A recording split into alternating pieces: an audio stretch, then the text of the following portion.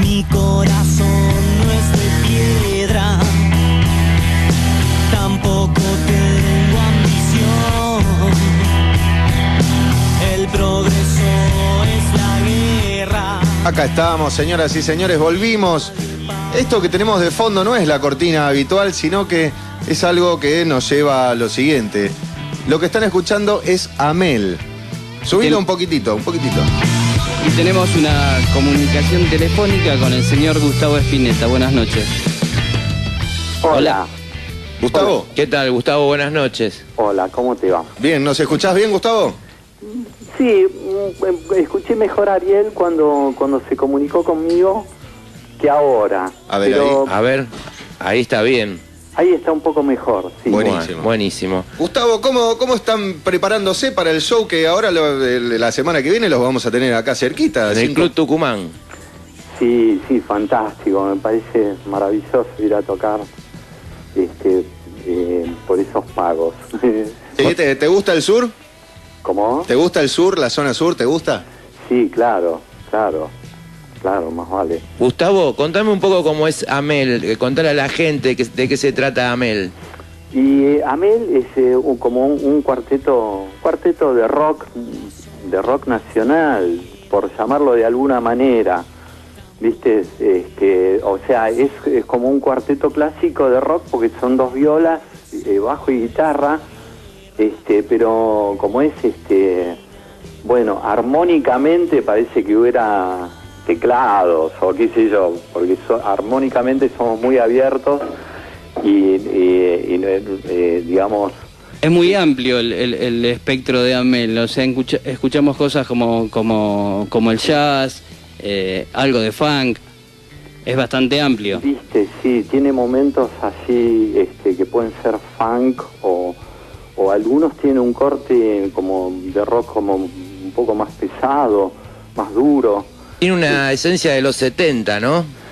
sí sí hay hay indudablemente influencia de, de esa época Y yo creo que en, lo- en los matices, sobre todo lo- de lo que yo escuché en los matices, se notan que, que tiene el sello del rock nacional puesto a full.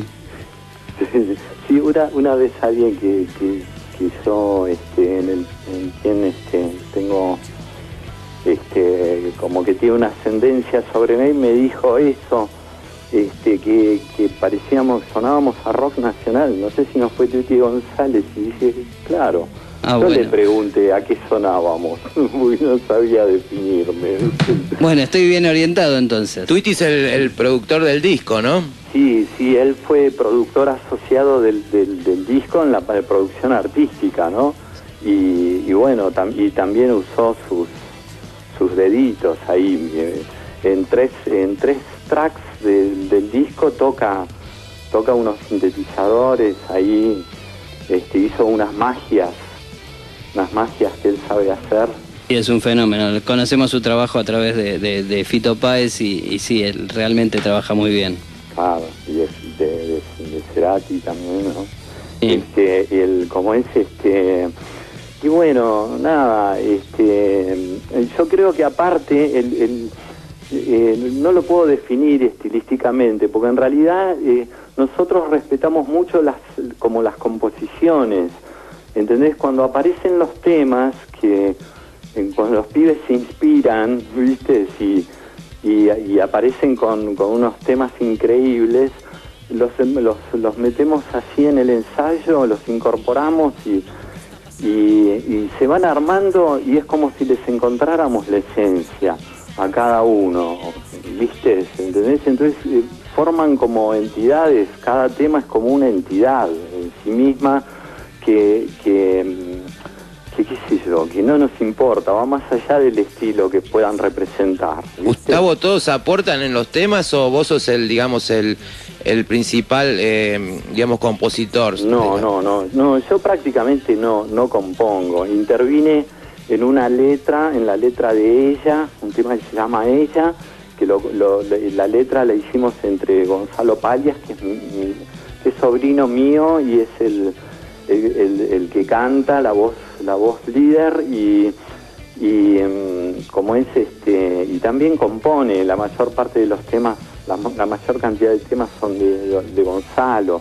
También está Pablo Castañeris, que es el bajista, este, y que él también compone sus cosas, y Francisco Zunana, el otro violero, este, eh, que también compone.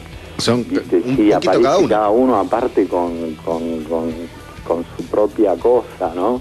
Y yo también, yo colaboré, hay un tema que se llama Discusión que, que nació todo de un ritmo que yo me puse a, a hacer, ¿viste? Y cada uno le fue agregando y es de los, de los cuatro, ¿no? El tema ese está firmado por los cuatro. Está bien, cobran todos. Es un Sí. poquito, un poquito cada uno. Es, viste, como cuando te ayudan a cocinar, básicamente. Claro. Sí, Gustavo, eh. ¿qué, qué, qué sería, por ejemplo, vemos que participa también como producción vocal Mavi Díaz, ¿no? Una, una genia, ¿no? Una genia total, canta, que es una diosa y... y- ¿Qué trabaja en las armonías? Este, se, trabajó, sí, sí, eh, sí, se trabajó porque no solo eso, ella es maestra de canto y, Gonzalo fue a tomar clases con ella. Este, eh, entonces, este, es como, como que es una, una presencia muy importante para que el resultado esté todo afinado, ¿entendés? Que no, no haya deslices así un oído experto, ¿viste? Es un oído muy experto y se logró, bueno, lo mismo que con Twitty, ¿no? Que son esas personas que saben cómo sacarle el jugo a las cosas. Sí, totalmente. Tiene... Este, entonces, este, eh, fue como un vocal coach. Ella fue, ese fue el papel de ella, el dirigir eh, una frase, este, que te- si vos tenés alguna duda te puede, te puede llegar a orientar y básicamente te dice eso, te está desafinado, hacelo de nuevo. Así de una. ¿Entendés? Eh, qué sé yo, ese tipo de cosas. Gustavo, en el, en el show que van a hacer ahora en el Club Tucumán el viernes 7, eh, de ahora, la semana que viene, eh, ¿van a tocar el disco entero? ¿Tienen algunas perlitas por ahí guardadas? No, bueno, el, el show va a ser compartido, así que creo que eh, va a estar carga y tengo entendido que va a haber otras bandas más. Sí, son bandas locales que tocan antes de antes de Carca y ustedes. que me parece fantástico. Este, y como es, este, no sé si vamos a tener tiempo como para, para tocar todo el disco, que tiene 13 temas, pero este, sí, sí, sí, yo creo que, no sé, espero poder tocar mucho porque es lo que me gusta. Generalmente... Yo creo que sí, ¿eh? nosotros vemos shows en el Club Sí, Tucumán, vamos yo creo que vas a tener bastante Vamos tiempo. bastante seguido y los shows son bastante largos. Ahí va, buenísimo, sí, vamos preparados con todo. Igual Buenísimo. para, para este mes, Gustavo, vienen con dos fechas más. En la trastienda van a estar el viernes 14 de junio y en, en La el... Plata, eso es en La Plata. Claro, en La Plata. Y el Salón Pueyrredón el sábado 29 de junio en Sí, Capital. Sí, sí, sí, acá para hacer como... Sí, es como una gira sur, ¿viste? Bien. Me encanta, me encanta. Buenísimo. Y el sur también existe. Nosotros que estamos al sur eh, también existimos. Tenemos que ver. eh, Tenés música. que venir a tocar acá, Gustavo. Te cuento que acá en la emisora, la RK, tenemos un muy lindo estudio para que toquen las bandas en vivo. Equipado. Y desde ya que la invitación ya totalmente tenés las puertas abiertas para venir a tocar con la banda. Dale, sí, de eso estate seguro que le hacemos. Con todo, no es un acústico. No, No, no, no, con todo eléctrico. eléctrico. eléctrico. Listo, Y sale Y sí, por la web a todos lados. Así sí, que... me encantaría hacer eso también. Bueno, lo arreglamos, no hay, no hay ningún problema. Acá tenés las puertas abiertas. Gustavo, te quería hacer una consulta. Eh, ¿con qué, qué diferencias notás vos que venís de, de- de haber, bueno, tocado con, con- con tu hermano, haber grabado ese disco maravilloso que fue Arto? Eh, para muchos el mejor disco de la historia del rock nacional. Eh, estar tocando ahora con chicos jóvenes y las diferencias generacionales, eh, con cómo, cómo las vivís. ¿Te, ¿Te acoplás vos a los chicos, los chicos se acoplan a vos? No, yo, bueno, yo creo que yo soy el, el, el- el que, me- acoplo, digamos, este, en el sentido de que, pero es, es raro lo que ha pasado, porque porque el- el- eh, los pibes eh, que son, estoy hablando de pibes, son muchachos de, de 20 23, 24 y 25 Ah, años. pero No son realmente jóvenes. Muy, muy jóvenes. Son muy jóvenes, pero son muchachos al fin. no, digo que, que como es este, que es como que ellos hace, hace seis años que venimos tocando juntos, o sea que eran mucho más jóvenes cuando se armó este proyecto. Y, Los agarraste tiernito y lo, lo llevaste para el lado que vos quisiste a los no, pibes. no, no es así. ¿No? No, no, Eso es lo que se puede interpretar y en realidad no es así. Pudimos tocar juntos porque ellos gustaban de la música de los 70 que yo mm, escuchaba cuando, cuando me inicié en la música y, y, y- y escuchaba todas esas bandas. Bueno, en realidad las escucho de antes, de los Beatles, desde los 60. Yo escuchaba los discos cuando salían. Viste que los, los ponían en la radio por primera vez en un programa y te mandaban todo este re- revolver de los Beatles por primera totalmente. vez, la primera escucha. O sea, te hablo de un-. Ellos eh, gustan de toda esa música que a mí también me emociona y me sigue conmoviendo, no solo de los Beatles, ¿no? Este, y es como este, que es como que nada. ¿no? Cuaja que- perfecto, digamos. Sí, es una amalgama perfecta. Sí, sí, es tremendo eso. No es que yo se los haya inculcado. Ellos venían tocando, que ellos, Francisco y, y Pablito, el bajista y violero, ellos venían tocando desde los 11 años porque eran compañeros de colegio.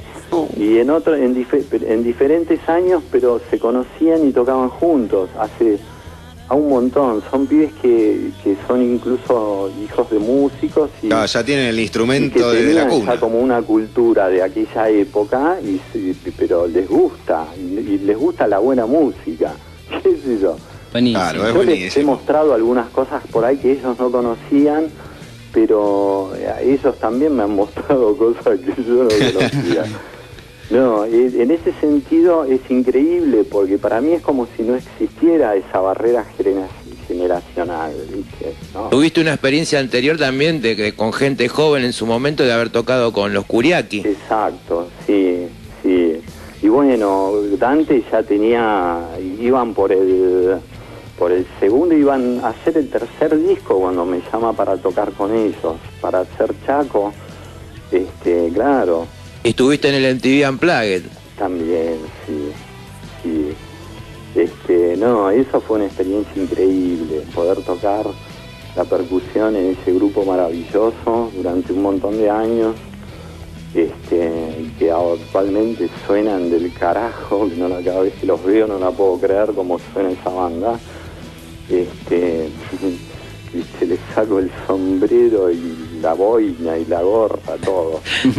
Sí, son bárbaros, son bárbaros. Sí, ya sí, no son tan una- pibes, pero son Una bárbaros. gran banda, sí. Por suerte volvieron.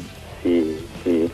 Y, y bueno, nada, este, es como, este, también ahí, ahí, este, también, yo creo que yo en, ese- en ese sentido, a mí me gusta más tocar la batería, este, que, la percusión, que era casi lo que, lo que hacía prácticamente en, en- en los Kuriaki, este, eh, ¿cómo se llama? Y acá es como que yo puedo, eh, en Amel yo puedo despuntar ese vicio que tengo. Bueno, acá el tema que está sonando de cortina se ve que le das bastante duro a la batería. Se siente, se siente bastante sí. duro, que le- te- la estás castigando Y este es prácticamente. muy, muy setentoso este tema, me gusta. Sí, no, está bárbaro, Sí. está bárbaro. Yo estuve escuchando uno- unos temas que justamente están en la página de ustedes, que es amel.com.ar. Eh, los estuve escuchando unos temas bárbaros, la verdad que es un lujo. Es para sentarse y escucharlos. Sí. Ahí va, buenísimo. Así que vamos a estar ahí en el Club Tucumán. Eh, ¿Los horarios eh, los sabés, Gustavo? Los horarios de Tucumán, a ver, Ya te digo, estoy acá que apareció Gonzalo, al- y ¿a qué hora toca? a las 22 está A las programado. 22 está anunciado. Sí, está anunciado a las 22 horas en el Club Tucumán, que es acá nomás Andrés Baranda 941, a 7 cuadras de la Siete radio. cuadras de la radio. Así sí. que todo. contá con nosotros, vamos a pasar a saludarte y bueno, vamos a disfrutar de la, de la gran música de Amel. Sí, bueno, me encantó. Bárbaro. Y bueno, y después arreglamos con Bruno para que hagan una fecha acá en los estudios de, de la RK. Dale, sí, cómo no. Así que Gustavo, bueno, te queremos agradecer tu Muchísimas tiempo. Sabía- gracias, eh. Sabíamos que estabas ocupado, pero bueno, un, un fuerte abrazo a Gonzalo, saludos y nos vamos a conocer el, el, el próximo viernes. Se cortó, se cortó justo, uh, no lo puedo creer, mirá vos. Bueno, eh, fue Gustavo, Gustavo Spinetta. el baterista de Sin Amel. nadie. Amel. La semana si que le viene- suena el apellido Spinetta, me suena. Sí, pero- la semana que viene van a estar tocando en el Club Tucumán a las 10 de la noche, el viernes 7. El viernes, no el sábado, el viernes. Vayan a ver a Mel y si no, el viernes 14 en La Plata a las 8 de la noche y si no, en Capital el 29 a las 10 de la noche. Vamos a la música. Esto es Amel.